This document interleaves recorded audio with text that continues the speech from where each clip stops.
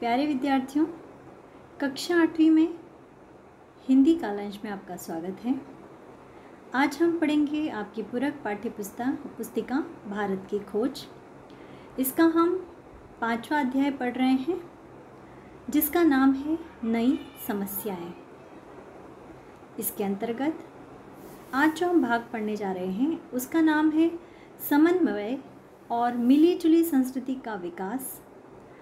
कबीर, गुरु नानक और अमीर खुसरो। भारत पर मुस्लिम आक्रमण की या भारत में मुस्लिम युग की बात करना गलत और भ्रामक है। इस्लाम ने भारत पर आक्रमण नहीं किया, वह भारत में कुछ सदियों के बाद आया। आक्रमण तुर्कों, अर्थात महमूद ने किया था, अफ़गानों ने किया था और उसके बाद तुर्क मंगोल या मुग़ल आक्रमण हुआ। इनमें से बाद के दो आक्रमण महत्वपूर्ण थे। अब यहाँ पे नेहरू जी कह रहे हैं कि भारत पर मुस्लिमों ने आक्रमण कभी नहीं किया। भारत पर अगर हम मुस्लिम युग की बात करें तो वो बिल्कुल ही गलत होगा, भ्रामक होगा। भ्रामक अर्थात भ्रम फैलाने वाला है। इस्लाम पर, इस्लाम ने भारत पर कभी हमला नहीं किया। भारत आने में इस्लाम को कई सदियाँ लग गई। आक्रमण तो किसने किया? तुर्कों ने किया। तुर्क में हम देख चुके हैं, महमूद गजनवी के बारे में हम पढ़ चुके हैं, जो अफ़गान से आया था, उसने भारत पर हमला किया था। तो यहाँ पे क्या कह रहे हैं? नेहरू जी, कि आक्रमण तुर्कों के द्वारा किया गया, अफ़गानों के द्वारा किया गया, उसके बाद तुर्क मंगोलों ने इस पर आक्रमण किया, किस पर? भारत पर। और मुग़ल आक्रमणकारी भी हुए, जिनमें से मंगोलों और मुग़लों के जो आक्रमण थे भारत पर, वे काफ़ी महत्वपूर्ण साबित हुए। अफ़गानों को हम भारत का सीमावर्ती समुदाय कह सकते हैं, जो भारत के लिए पूरी तरह अजनबी भी नहीं माने जा सकते। उनके राजनीतिक शासन के काल को हिंद अफ़गान युग कहना चाहिए। मुग़ल भारत के लिए बाहर के और अजनबी लोग थे, फिर भी वे भारतीय ढांचे में बड़ी तेज़ी से समा गए और उन्होंने हिंद मुग़ल युग की शुरुआत की। तो अफ़गानों को हम क्या कह सकते हैं? सीमावर्ती समुदाय कह सकते हैं, क्योंकि वह भारत की सीमा से लगे हुए थे। वे भारत के लिए अजनबी नहीं थे। भारत उन्हें अच्छी तरह से जानता था, क्योंकि अफ़गानों की तरफ़ से आक्रमण भी होते रहे थे। कई हमले हुए थे अफ़गानी शासकों के साथ। वहाँ के कई लोग यहाँ पर आकर रहने लगे थे। उनके राजनीतिक शासन के काल को हिंद अफ़गान युग कहना चाहिए। कहीं ना कहीं हिंदू और अफ़गानी आपस में उनका मेल जोल हो गया था। उनकी संस्कृतियाँ मेल खाने लगी थी। उनका राजनीतिक जो तरीका था, तौर तरीका, वो भी मिला जुला सा हो गया था। मुग़ल भारत के लिए बाहर के और अजनबी लोग थे फिर भी वे भारतीय ढांचे में बड़ी तेज़ी से समा गए और उन्होंने हिंद मुग़ल युग की शुरुआत की। तो अफ़गान और मुग़ल लोग भारत में आकर यहाँ के ढांचे में ढल गए थे। अफ़गान शासक और जो लोग उनके साथ आए थे, वे भी भारत में समा गए। उनके परिवारों का पूरी तरह भारतीयकरण हो गया। भारत को वे अपना घर और बाकी सारी दुनिया को विदेश मानने लगे। राजनीतिक झगड़ों के बावजूद उन्हें सामान्यतः इसी रूप में स्वीकार कर लिया गया। और राजपूत राजाओं में से भी बहुतों ने उन्हें अपना अधिराज मान लिया। पर कुछ ऐसे राजपूत सरदार थे, जिन्होंने उनकी अधीनता अस्वीकार कर दी और भयंकर झगड़े हुए। दिल्ली के प्रसिद्ध सुल्तान फिरोज शाह की माँ हिंदू हुई थी। तो अब जैसा कि मैंने बताया पहले भी कि अफ़गान शासक जब भारत आए तो उनके साथ वहाँ के लोग भी आए वे भारत में पूरी तरह से रम गए। उनके परिवारों का भारतीयकरण हो गया। वे भारत को पसंद करने लगे। यहाँ के लोगों को उन्होंने अपना लिया। भारत को वे अपना घर मानने लगे और दूसरी दुनिया, बाकी बची दुनिया जो थी, उनके लिए विदेशी बन गई। राजनीतिक झगड़े तो होते ही रहे।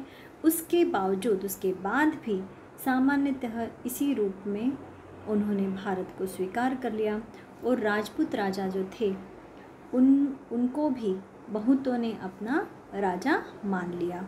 पर कुछ ऐसे राजपूत सरदार थे, जिन्होंने उनकी अधीनता स्वीकार, अस्वीकार कर दी। कुछ राजपूत सरदार थे जो अफगानों को अपना शासक मानने के लिए तैयार नहीं थे, उनके विरोधी थे और इसलिए काफ़ी झगड़े भी हुए, भयंकर युद्ध हुए, घमासान युद्ध हुए और दिल्ली के प्रसिद्ध सुल्तान फ़िरोज़ शाह जो थे उनकी ये फ़िरोज़ शाह की तस्वीर, जो कि उनकी जो माँ थी, वो हिंदू थी। यही स्थिति गयासुद्दीन तुगलक की थी।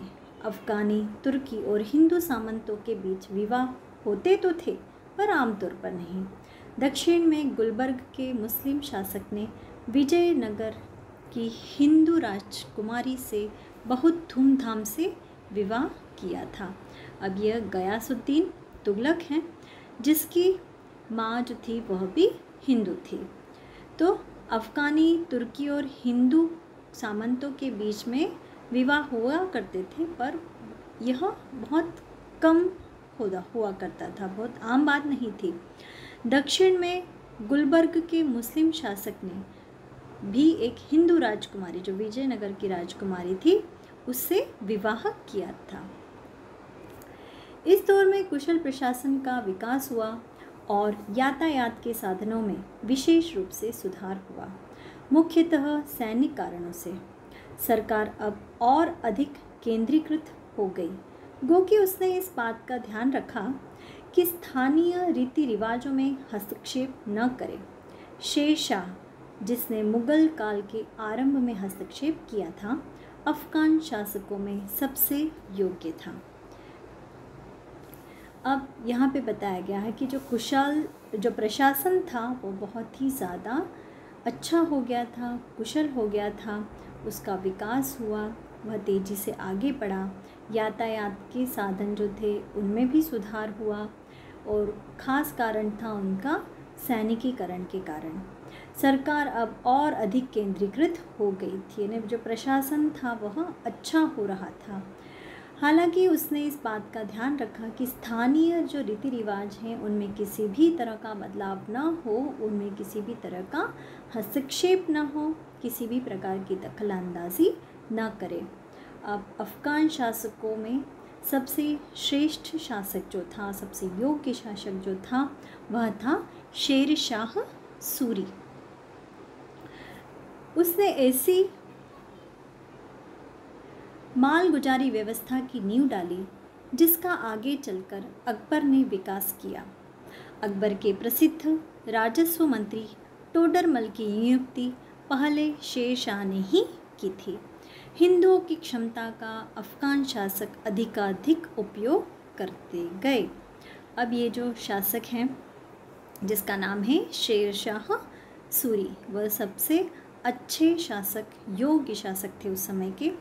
उसने एक नई व्यवस्था की शुरुआत की माल गुजारी व्यवस्था, जिसका अकबर ने भी आगे चलकर इस्तेमाल किया, उसको और आगे बढ़ाया, उसमें प्रगति की। अकबर का जो प्रसिद्ध राजस्व मंत्री था, टोडरमल, उसका नियुक्ति जो थी, उसकी नियुक्ति जो थी, वह भी शेरशाह सूरी ने ही की थी। और ये जो अफ़गान शासक थे, ये हिंदुओं की जो क्षमता है, उनकी जो योग्यता है उसका अधिक से अधिक इस्तेमाल करना जानते थे।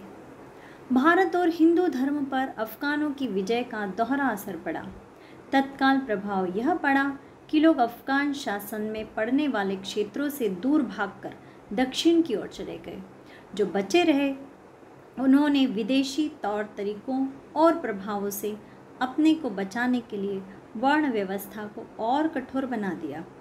दूसरी ओर विचारों और जीवन दोनों में इस विदेशी ढंग की ओर धीरे धीरे लोगों का रुझान पैदा होने लगा। परिणामतः समन्वय अपने आप रूप लेने लगा। वास्तुकला की नई शैलियाँ उपजी। खाना पहनना खाना पहनना बदल गया और जीवन अनेक रूपों में प्रभावित हुआ। यह समन्वय संगीत में विशेष रूप से दिखाई पड़ा। भारत की प्राचीन शास्त्रीय पद्धति का अनुसरण करते हुए उसने कई दिशाओं में विकास किया। अब भारत और हिंदू धर्मों पर अफ़गान जो विजय किए जा रहे थे भारत पर, उसका कहीं न कहीं असर दिखाई देने लगा था। तत्काल इन्हें तुरंत प्रभाव क्या पड़ा कि लोग अफगान शासन में पड़ने वाले क्षेत्रों से दूर भागकर दक्षिण की ओर चले गए। यानी दक्षिण में अफगानियों का शासन नहीं था तो जो अफगान शासन था, उससे लोग भागकर दक्षिण की ओर जा रहे थे। जो नहीं जा पाए, उन्होंने विदेशी तौर तरीकों और प्रभावों से अपने आप को दूर रखने के लिए, बचाने के लिए वर्ण व्यवस्था को और ज़्यादा कठोर, दृढ़ बना दिया। दूसरी ओर विचारों और जीवन, दोनों में इस विजय विदेशी ढंग की ओर धीरे धीरे लोगों का रुझान पैदा होने लगा लोग धीरे धीरे इसे अपनाने लगे। इसका परिणाम क्या हुआ? इसके फलस्वरूप समन्वय अपने आप रूप लेने लगा। समन्वय ने दोनों की जो संस्कृतियाँ थी, दोनों के जो तौर तरीके थे रहन सहन के ढंग थे, वह आपस में मेल खाने लगे, एक दूसरे से मिलने जुलने लगे। वास्तुकला की नई शैलियाँ उपजी। खाना पहनना बदल गया। लोगों के खान पान में, लोगों की कला में, संस्कृति में, सब में बदलाव आने लगा। जीवन अनेक रूपों में प्रभावित हुआ। जीवन जो था, लोगों का रहन सहन खान पान पहनावा, कला, संस्कृति, हर तरह से कहीं ना कहीं उस पर असर हुआ। यह समन्वय संगीत में विशेष रूप से दिखाई दिया है। न, जो संगीत था, जो कला थी उसमें भी परिवर्तन हुआ। भारत की प्राचीन शास्त्रीय पद्धति का अनुसरण करते हुए उसने कई दिशाओं में विकास किया। तो शास्त्रीय जो पद्धति थी भारत की, हमारी प्राचीन संस्कृति, उसमें भी कहीं ना कहीं बदलाव हुआ और विकास भी हुआ। फ़ारसी भाषा दरबार की सरकारी भाषा बन गई और फ़ारसी के बहुत से शब्द बोलचाल की भाषा में प्रवेश कर गए। इसके साथ ही जन भाषाओं का भी विकास किया गया। तो पहले जो भाषा थी, दरबार की भाषा, सरकारी भाषा जो थी, वो बदल गई और फ़ारसी भाषा दरबार की सरकारी भाषा बन गई। फ़ारसी के जो कई शब्द थे, वह लोग बोलचाल की भाषा में, रोज की भाषा में इस्तेमाल करने लगे। और जो दूसरी जन भाषाएँ थी, बोलचाल की भाषाएँ थी, उनका भी विकास हुआ। भारत में जिन दुर्भाग्यपूर्ण बातों में वृद्धि हुई, उनमें एक पर्दा प्रथा थी। ऐसा क्यों हुआ, यह स्पष्ट नहीं है, पर भारत में पर्दा प्रथा का विकास मुगल काल में तब हुआ, जब यह हिंदुओं और मुसलमानों दोनों में पद और आदर की निशानी समझा जाने लगा। औरतों को अलग पर्दे में रखने की यह प्रथा उन इलाकों में ऊँचे वर्गों में विशेष रूप से फैली, जहाँ मुसलमानों का प्रभाव सबसे अधिक था। यानी उस मध्य और विशाल पूर्वी प्रदेश में, जिसमें दिल्ली, संयुक्त प्रांत, राजपुताना, बिहार और बंगाल आते हैं। लेकिन अजीब बात है कि पंजाब और सरहदी सूबे में जो मुख्यतः मुस्लिम इलाके थे, पर्दे की प्रथा उतनी कड़ी नहीं थी। तो यहाँ पे देखा हमने कि संस्कृति शैली जो थी, वास्तुकला शैली, लोगों का रहन सहन, सब में अफ़गानों के आक्रमण का असर दिखाई देने लगा। एक तरह से विकास ही हुआ, परंतु भारत में एक दुर्भाग्यपूर्ण जो बात हुई, वह क्या हुई कि यहाँ पर पर्दा प्रथा की चलन शुरू पर्दा प्रथा शुरू हो गई। पर्दा प्रथा में जो महिलाएँ हैं वह पर्दे में रहती हैं। लोगों के सामने नहीं आ, सामने नहीं आती जिससे आदर और सम्मान की निशानी समझा जाता है।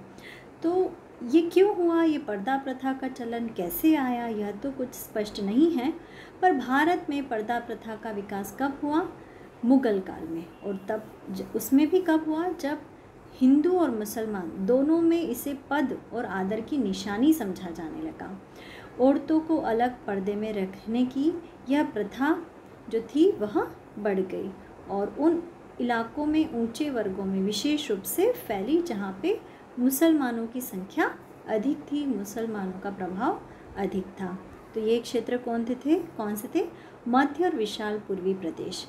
जिनमें कौन कौन सा इलाका आता है? दिल्ली, संयुक्त प्रांत, राजपुताना, विशा, बिहार और बंगाल। तो दिल्ली, संयुक्त प्रांत, राजपुताना, बिहार और बंगाल में पर्दा प्रथा का चलन बहुत अधिक बढ़ गया।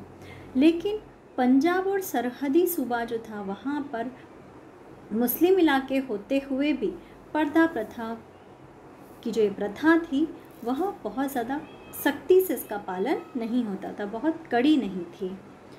तो यहाँ तक हमने देखा यह भाग, इसका जो शेष भाग है, वह हम पढ़ेंगे अगले कालांश में।